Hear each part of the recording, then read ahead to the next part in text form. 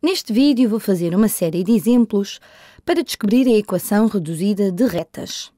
Apenas como revisão, isso significa a equação de uma reta na forma y igual a mx mais b, onde m é o declive e b é a ordenada na origem.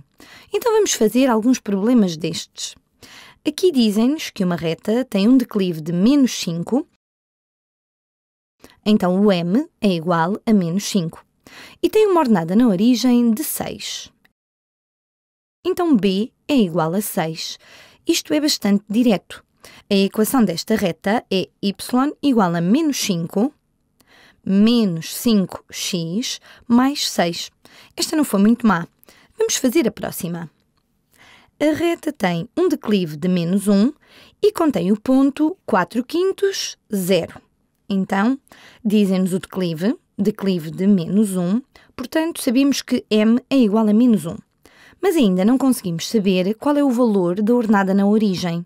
Mas sabemos que esta equação vai estar na forma de y é igual ao declive, menos 1, vezes x mais b, onde b é a ordenada na origem. Agora, Podemos usar a informação dada por estas coordenadas, o facto de a reta conter este ponto, podemos usar essa informação para determinar B. O facto de a reta conter este ponto significa que o valor de x é igual a 4 quintos, y é igual a zero, tem de satisfazer esta equação. Portanto, vamos substituir esta informação. y é igual a zero quando x é igual a 4 quintos. Então, 0 é igual a menos 1 vezes 4 quintos mais b. Vou puxar um pouco para baixo. Vejamos. Obtemos 0 é igual a menos 4 quintos mais b. Podemos adicionar 4 quintos a ambos os lados da equação. Então, adicionamos 4 quintos aqui. Também temos de adicionar 4 quintos a este lado. Isto corta com isto e obtemos que B é igual a 4 quintos. B é igual a 4 quintos. Então, agora temos a equação da reta. y é igual a menos 1 vezes x, o que escrevemos como menos x, mais b, que é 4 quintos, assim.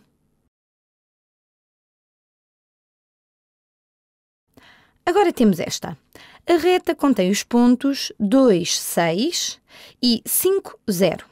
Não nos deram explicitamente nem o declive nem a ordenada na origem, mas conseguimos descobrir ambos a partir destas coordenadas. A primeira coisa que podemos fazer é descobrir o declive. Sabemos que o declive m é igual à variação em y sobre a variação em x, o que é igual a. Qual é a variação em y? Vamos começar por aqui. Então, fazemos 6 menos 0. 6 menos 0. Deixem-me fazê-lo desta forma. Então, temos 6. Vou fazer isto com um código de cores. Menos 0. Portanto, 6 menos 0 é a nossa variação em y. A nossa variação em x é 2. 2 menos 2 menos 5.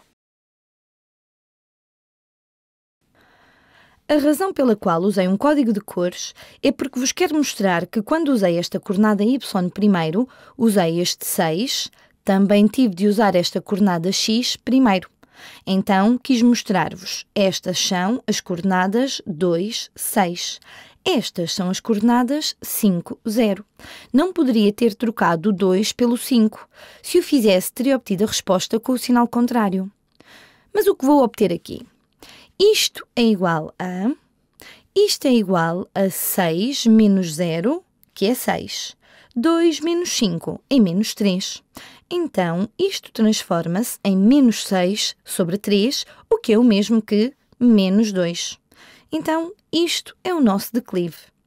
Até agora, sabemos que a reta tem de ser y é igual ao declive, vou fazê-lo a laranja, menos 2, vezes x, mais a ordenada na origem. Agora, podemos fazer exatamente o mesmo que fizemos no último problema. Podemos usar um destes pontos para determinar a ordenada na origem. Podemos usar qualquer um. Ambos pertencem à reta, então ambos devem satisfazer a equação. Vou usar o ponto 5, 0, porque é sempre simpático quando temos aqui um zero. Torna a matemática um pouco mais fácil. Então vamos usar o ponto 5, 0. Portanto, y é igual a zero quando x é igual a 5. Então, y é igual a zero quando temos menos 2 vezes 5, quando x é igual a 5, mais b. E obtemos 0 é igual a menos 10 mais b. Se adicionarmos 10 a ambos os lados da equação, vamos adicionar 10 a ambos os lados e estes dois cortam-se. Obtemos b é igual a 10 mais 0 ou 10. Então obtemos que b é igual a 10. Agora sabemos a equação da reta. A equação é y, deixem-me fazer isto numa cor nova, y é igual a menos 2x mais b, mais 10. E acabamos. Vamos fazer outro. Muito bem. A reta contém os pontos 3, 5 e menos 3, 0. Tal como no problema anterior, começamos por descobrir o declive. Declive a que podemos chamar m. É o mesmo que o deslocamento vertical sobre o deslocamento horizontal, que é o mesmo que a variação em y sobre a variação em x. Se isto fosse o vosso trabalho de casa, não teriam de escrever isto tudo. Apenas quero ter a certeza de que percebem que isto é tudo a mesma coisa. Então, qual é a nossa variação em y sobre a variação em x? Isto é igual a. Vamos começar por este lado primeiro.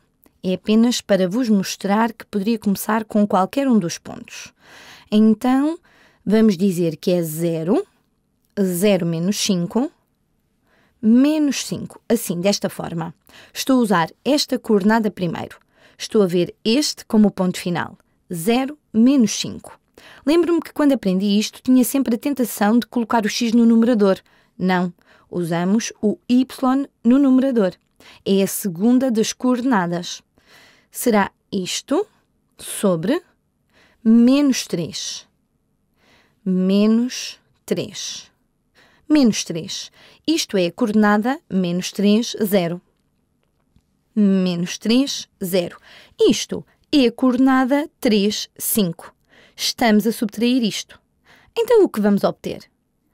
Isto será igual a, vou fazê-lo numa cor neutra, isto será igual ao numerador, que é menos 5, sobre menos 3, menos 3, que é menos 6. Os sinais de menos cancelam-se. Obtemos 5 sextos. Então, sabemos que a equação terá a forma y igual a 5 sextos de x, 5 sextos de x mais b. Agora, podemos substituir aqui as coordenadas de um dos pontos para obter b. Vamos fazer isso. Prefiro sempre usar a que tem um zero. Então, y é zero quando x é quando x é menos 3. Quando x é menos 3. E aqui, o mais b. Então, tudo o que fiz foi substituir x por menos 3 e y por 0. Sei que o posso fazer porque é um ponto da reta. Isto satisfaz a equação da reta. Vamos resolver em ordem AB. Obtemos 0 é igual a... Se dividirmos menos 3, dividirmos 6 por 3, obtemos um 2. Então, isto transforma-se em menos 5 meios mais b. Poderíamos adicionar 5 meios a ambos os lados da equação. Mais 5 meios, mais 5 meios. Gosto de mudar a minha notação, de forma a que fiquem familiarizados com ambas. Então, obtemos a equação 5 meios é igual a, isto é um zero, é igual a b. b é 5 meios. Então, a equação da nossa reta é a equação da nossa reta é y igual a 5 sextos de x mais b, que acabamos de descobrir que é 5 meios, mais 5 meios. Acabamos. Vamos fazer mais um. Temos aqui um gráfico. Vamos descobrir a equação da reta neste gráfico.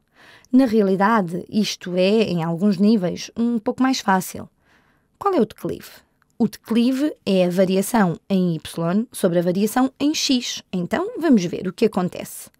Quando nos deslocamos no x, quando a nossa variação em x é 1, então isto é a nossa variação em x. A variação em x é 1. Estou apenas a decidir mudar o meu x em 1, aumentar em 1. Qual é a variação em y? Parece que a variação em y é 4. Parece que o meu delta y, a minha variação em y, é igual a 4 quando o meu delta x, quando o meu delta x é igual a 1. Então, a variação em y sobre a variação em x, a variação do y é 4 quando a variação do x é 1. Portanto, o declive é igual a 4. Agora, qual é a ordenada na origem? Bom, aqui podemos simplesmente olhar para o gráfico. Parece que a reta interseta o eixo dos y em y igual a menos 6, ou seja, no ponto 0, menos 6. Então sabemos que o b é igual a menos 6. b é igual a menos 6. Portanto, já sabemos a equação da reta. A equação da reta é y igual ao declive, ao declive, vezes x mais a ordenada na origem. Deveria escrever isto. Então, menos 6, isso é mais menos 6. Esta é a equação da nossa reta. Vamos fazer mais um destes. Dizem-nos que f de 1,5 é igual a menos 3 e f de menos 1 é igual a 2. O que é isto? Bom, tudo isto é apenas uma forma sofisticada de vos dizer que o ponto, quando x é igual a 1,5, quando colocam 1,5 como argumento na função, o valor da função é menos 3. Então, isto diz-nos que o ponto com coordenadas 1,5 menos 3 pertence à reta. Depois, isto diz-nos que quando x é menos 1, f de x é igual a 2. Esta é apenas uma forma sofisticada de dizer que ambos estes pontos pertencem à reta, nada de mais. Penso que o objetivo deste problema é fazer com que fiquem familiarizados com a notação de funções, para que não fiquem intimidados se virem algo como isto. Se calcularem a função em 1,5, obtêm menos 3. Então, esta é a coordenada y se imaginarem que y é igual a f de x. Então, isto seria a coordenada y. Seria igual a menos 3 quando x é 1,5. De qualquer forma, já o disse múltiplas vezes. Vamos descobrir o declive desta reta. O declive, que é a variação em y sobre a variação em x, é igual a, vamos começar por 2, 2 menos isto, menos 3, estes são os valores de y, sobre tudo isto sobre menos 1, menos 1 menos, menos 1 menos isto aqui. Deixem-me escrevê-lo desta forma, menos 1 menos isto aqui, menos 1,5. Faço isto com cores porque quero mostrar-vos que o menos 1 e o 2 vêm ambos daqui. É por isso que os utilizo primeiro. Se usasse estes primeiro, teria de usar primeiro ambos os valores de x e y. Se uso o 2 primeiro, tenho de usar o menos 1 primeiro. É por isso que o faço nestas cores diferentes. Então, isto será igual a 2 menos menos 3. Isso é o mesmo que 2 mais 3, então isto é 5. 1 menos, desculpem, menos 1 menos 1,5 é menos 2,5. Menos 2,5. 5 a dividir por 2,5 é igual a 2. Então o declive desta reta é menos 2. Na realidade, vou fazer um à parte para vos mostrar que não importa a ordem pela qual faço isto. Se usasse esta coordenada primeiro, então teria de usar aquela coordenada primeiro. Vamos fazer isto da outra forma. Se fizesse isto como menos 3, menos 3 menos 2, menos 2, sobre, sobre 1,5 menos, menos menos 1.